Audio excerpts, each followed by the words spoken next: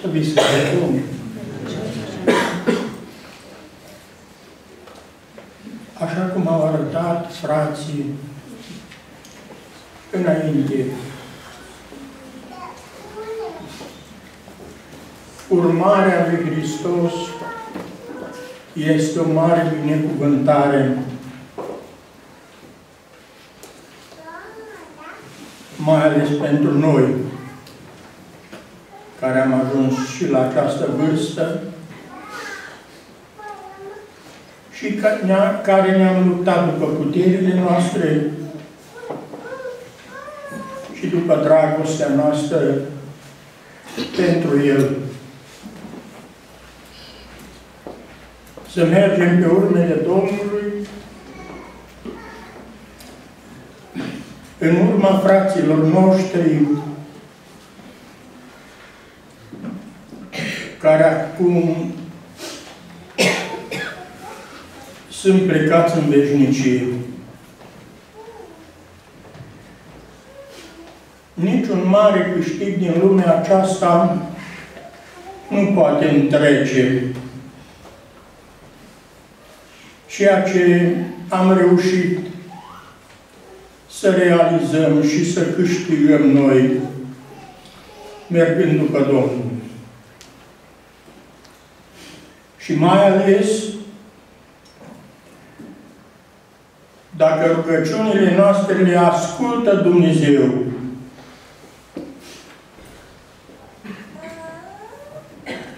ca sfârșitul vieții noastre să fie în brațele Lui. Ce alte câștiguri ar putea să le întreacă pe acestea? Sau realizări care le-am fi putut avea noi?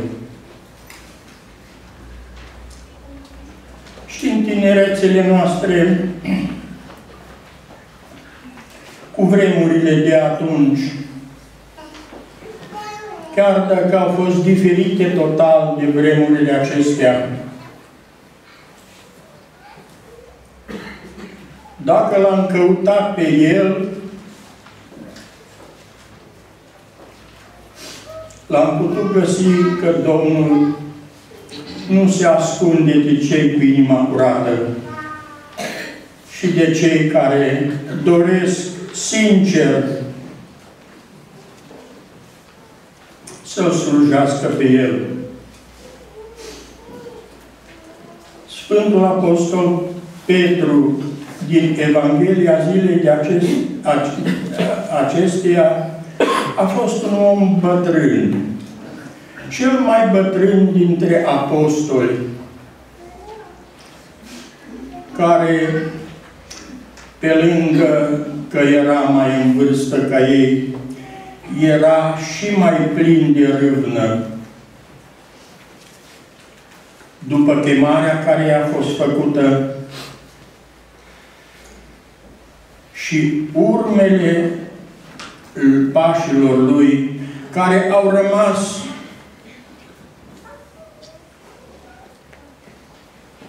pe urmele Domnului și pe cărarea mântuirii, în vestirea Evangheliei Domnului nostru Iisus Hristos până la sfârșitul vieții Lui. Chiar dacă romanii au, au hotărât să-i grăbească sfârșitul. El a, ei a ales să-și sfârșească viața răstignit pe o cruce cu capul în jos. Nouă nu ni se mai cer în vremurile acestea asemenea jertfe.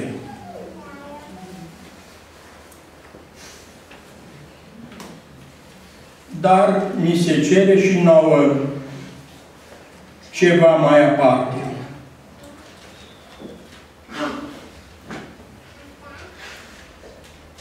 Să rămânem întâi statornici și credincioși în lucrarea lui Dumnezeu în care ne-a adus El pe noi. Și El a fost Cel care ne-a și căutat pe noi ca să putem să găsim această cale. Ea nu este atât de mult vădită de lumea aceasta, pentru că vrăjmașul luminii a făcut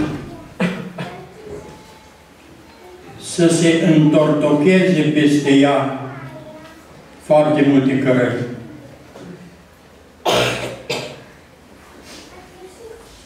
Și dacă nu suntem atenți, repede putem să dăm pe o parte sau pe, pe alta și să nu mai ajungem. Cum vă spuneam, să sfârșim în brațele Domnului. De aceea, și nouă ni se cere vedere și rugăciune. Și nu se mai cere și lumină că de fapt calea Lui este luminată de Domnul și Mântuitorul nostru, care a fost primul, cel din tâi care a mers pe această cale. Și toți cei ce au căutat urmele Lui pe această cale nu s-au rătăcit nici unul. să ne ajute Bunul Dumnezeu și de la această Evanghelie. Și de la această duminică. Și de la această adunare. Să mergem la casele noastre însoțiți de Domnul și Mântuitorul nostru, care niciodată nu ne lasă singuri. Că încă mai avem nevoie de brațul Lui, încă mai avem nevoie de întărirea Lui și încă mai avem nevoie de însoțirea Lui. Să ne ajute Bunul Dumnezeu, iubiții mei. Am ascultat și dimineața la Sfântul ta liturghie și astăzi la vecerne și la adunare. Așa, un cuvânt de ziditor pentru sufletele noastre. N-a fost vorbă goală, cum zic oamenii, și a fost ceva foarte ziditor și dacă bine am luat aminte și am pus pe inimile noastre acest cuvânt, El ne va fi de folos pentru viața noastră, pentru zilele care le mai avem de trăit și atunci fiecare dintre noi la sfârșitul luptei noastre, la sfârșitul vieții noastre,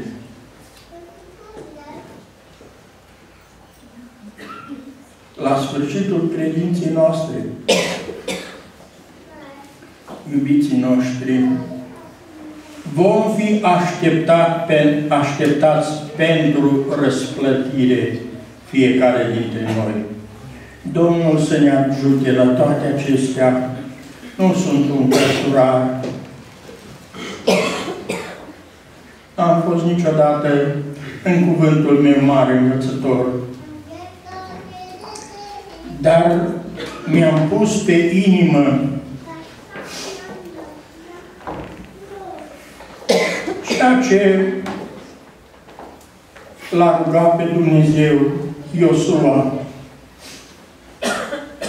După ieșirea din Egipt și călătoria prin pustie, că a ajuns el în, ca, în țara Canaanului, a spus, Doamne, de astăzi înainte, eu și casa mea vreau să slujesc ție. Aceasta a fost și rugăciunea mea, ca eu și casa mea să pot sluji Domnului.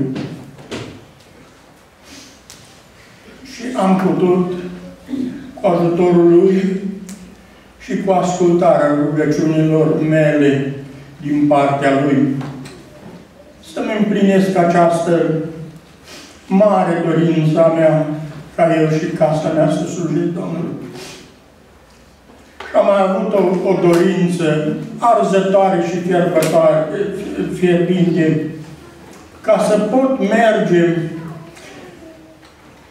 pe urmele părintelui meu și gornisului acestei lucrări a părintelui Iosif Trifa. Și acum, la vârsta aceasta, și în luna aceasta, când m-am născut și eu pe pământ, să pot să împlinesc și această dorință. Ca de la casa lui și până la biserică să mă pot duce pe jos, cale de o oră și jumătate pe drum de munte, pe unde a umblat Părintele Iosif, cu tăblița și cu saltirea, de acasă până la biserică, unde era și școala, ne spunea Părintele Paroc din localitatea aceea. Și am stat și am îmbrățișat crucea mormântului mamei lui. Nu mai vrea nimic. Deci, cât să ajung în brațele Domnului, că mi-am împlinit și această mare dorință. Nici n-am îndrăznit, deși am fost poftit să dorm în camera unde dormea el, era copil, am dormit în privorul de afară. Mirându-mă de o noapte de vârf de munte, mulțumesc lui Dumnezeu că a ascultat și această rugăciune, care de multă vreme am mai fost eu pe acolo, dar vremurile și timpurile trecute nu ne-au permis să mergem pe drum. Și trebuia să mergem printre dufare și cărări care duc spre drumul care am umblat eu acum, în luna aceasta. Și mulțumesc lui Dumnezeu și pentru aceasta. Nu mai vreau nimic. Că mi-am împlinit și această mare dorință care era din tinerețele mele și care tot mă întrebam când aduce Dumnezeu ziua aceea să pot și eu merge pe drumul pe care mergea Părintele Iosif de acasă, la biserică și la școală. Și acum aș vrea să vă faceți și dumneavoastră drum pe acolo e așa de frumos, dar e așa de înalt și așa de greu. Poate că nici nu puteam să ajung până sus, la casa părintelui, dacă nu venea după mine, părintele era un monah, care are o mașină puternică și m-a ajutat să ajung cu bine din Câmpeni, din unde iarăși am dorit eu foarte mult. Niciodată nu m-am dus la casa Părintelui prin Câmpeni. Întotdeauna am luat și m-am dus printre munți. Un local îmi spunea, dacă vă duceți pe drumul ăsta la 30 de kilometri veți ajunge în Măguri, Răcătău adică aproape de orașul nostru. Să ne ajute Bunul Dumnezeu să ne împlinim aceste dorințe ca sfârșitul vieții noastre, cum vă spuneam, să fie în brațele Lui. Amin. Mările Tatălui și Fiului și Sfântului Duh. Amin.